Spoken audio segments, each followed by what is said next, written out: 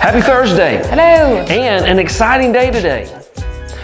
Pizza Day. Pizza day. Of all the days, I can get excited about this day. Yeah, I love pizza. I love pizza. I love it too much. The chicken Thai pizza or the Thai pizza at California Pizza, Ultimate California Pizza. That's a good pizza. I have not had it. It's it's it's great. Chicken, I think it's Thai. It's got chicken, Thai, peanuts, cheese, no red sauce.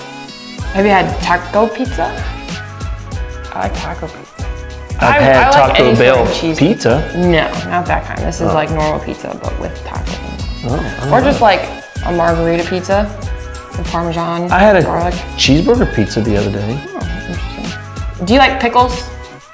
I do. Have you ever had pickle In- pizza? n- no, I would. I don't like pickles that much. I know. I don't like pickles. My friends would always get it when they go places. I like the the sweet pickles, not the dill pickles. I mean, I can eat a dill pickle, but the bread and butter pickles. Mm, I don't like any. I don't think you'd want that on a pizza. Though. No, probably not. Tell us what your favorite pizza is. Give us some new suggestions. When you think of the word temple, what comes to mind? Maybe you envision a grand or beautiful place that feels important and meaningful. God wants you to know that your body is a temple for the Holy Spirit and you're invited to treat it with the kind of care that something important deserves. This means that we are to be wise in how we treat our bodies, and we're instructed to honor God with how we use them. When we are tempted to use our bodies in ways that do not bring honor to God, remembering this verse can be a powerful way to remind us that our bodies have significant value. Don't you realize that your body is the temple of the Holy Spirit who lives in you and was given to you by God?